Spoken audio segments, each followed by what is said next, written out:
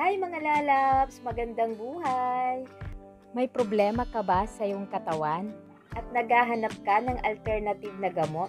Subukan po ninyo ang Reflex. Ayan, mabisang pantanggal ng mga baradong ugat sa ating katawan para maging maganda ang ating blood circulation. Pero bago po yan, ako pong muli ang inyong kalalabs na si M. Scary.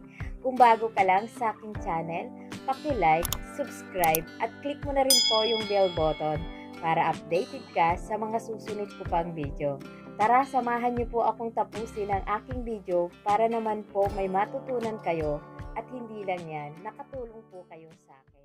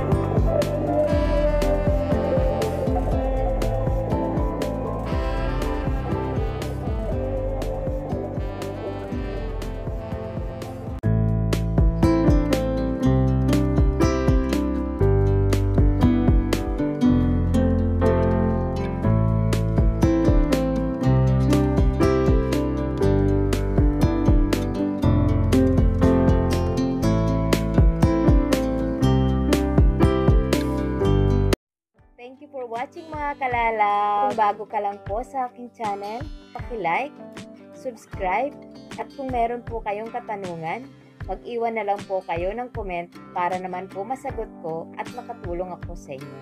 Share nyo na rin po sa iyong mga kaibigan, kapamilya, para naman po may matutunan din po sila.